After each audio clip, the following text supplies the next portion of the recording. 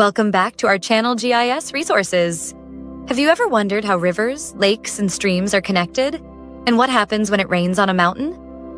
Well, the answer lies in a fascinating concept watershed analysis. Now, a quick heads up. This video is not a step by step tutorial on how to generate watersheds in ArcGIS or QGIS. Instead, we'll introduce you to what a watershed is, why it's important, how the analysis works through essential steps, and where it's applied in the real world. So, today, let's dive into what is watershed analysis, how it's done using GIS, the key factors that influence it, and how it's used in real life applications, from farming to flood prevention. Introduction to Watershed Analysis.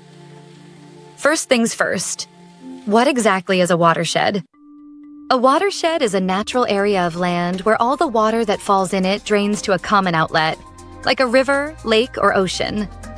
Watershed analysis, then, is the process of studying how water moves within this area, how it flows, where it collects, and how it affects the surrounding environment.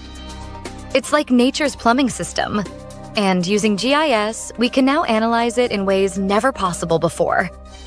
Why is watershed analysis important? Why should we care? Because watershed analysis helps solve real world problems. It helps us predict floods and manage stormwater, plan irrigation and conserve water, reduce soil erosion, design sustainable land use strategies, and monitor environmental changes over time. In short, it's essential for both urban planning and rural development. How is watershed analysis done using GIS? Thanks to GIS, watershed analysis has become faster, smarter, and more accurate. Here's how it works in simple steps. 1. Start with a DEM, Digital Elevation Model.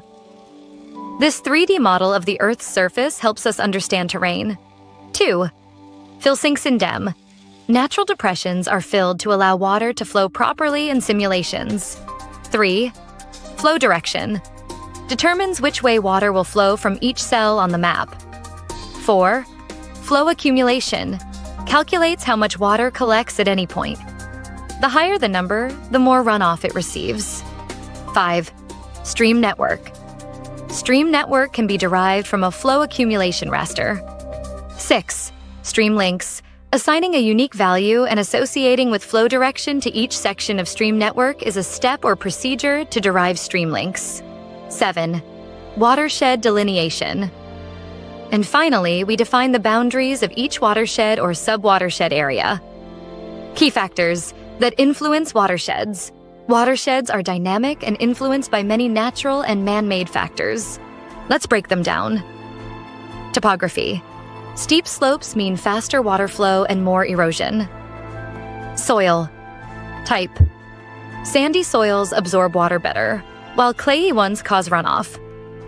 Vegetation cover. Trees and plants slow down water, helping recharge groundwater. Climate. Rainfall intensity directly impacts flow and accumulation. Land use patterns. Urbanization increases impervious surfaces, leading to more runoff and potential flooding. Understanding these factors helps us make better decisions for sustainable land and water management. Applications of watershed analysis. So, where is this analysis used? Watershed analysis is not just a map. It's a decision making tool that helps governments, NGOs, and scientists act smarter. Few examples. In agriculture, optimize irrigation and control soil erosion. Flood management, identify vulnerable zones before disaster strikes. Urban planning, design drainage systems and green spaces, water quality monitoring, track pollutants, and plan wastewater treatment. Conservation projects protect forests, wetlands, and river ecosystems. If you're exploring GIS resources for the first time, you'll love our video on interpolation, what it is, and how it works in GIS. Check it out, the link is in I button and in the description. Now, let's understand why watershed analysis matters. From the smallest creek to the largest river system, it helps us manage water, protect nature, and build safer communities. If you found this video helpful, comment below with your questions or experience like, subscribe and share the video to support our channel. Thanks for watching, and we'll see you in the next one.